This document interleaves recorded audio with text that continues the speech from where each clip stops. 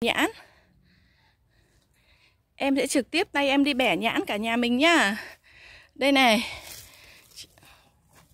Cách một cái này. Bỏ vào cái rổ này. Trời ơi. Tuyệt vời. Ôi rồi Ôi rồi tuyệt vời.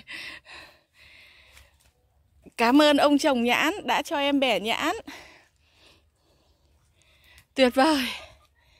Em còn xin được cây gì em nữa em xin. Em xem có những cây gì đẹp đẹp em lại xin.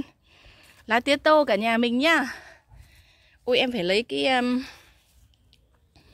Lá tía tô để về uống nước lá tía tô nha. Chiều nay nhiều thứ mời cả nhà.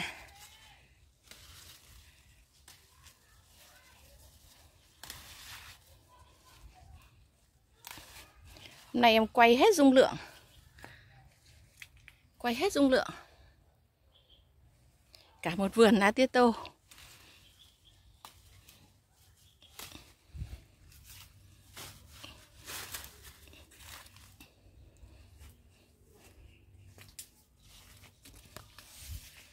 Cây ấy này.